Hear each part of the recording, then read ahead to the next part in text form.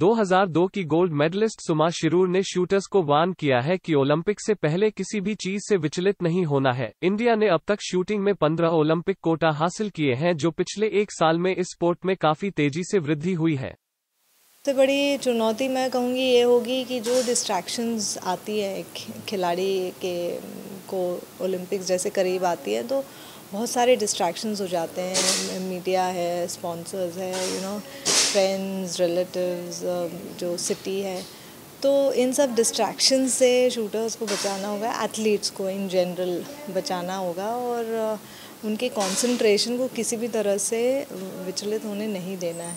तो अगर हम ये हासिल कर सकते हैं तो आई थिंक uh, हमें कोई नहीं रोक सकता। शिरूर को भी लगता है कि युवा निशानेबाजों की तुलना में अनुभवी निशानेबाजों पर अच्छा प्रदर्शन करने का अधिक दबाव होगा, जो पहली बार खेल के मैदान में उतरेंगे। Mental training is the most important thing क्योंकि शूटिंग एक मेंटल स्पोर्ट है। तो ख़ास करके जो हमारे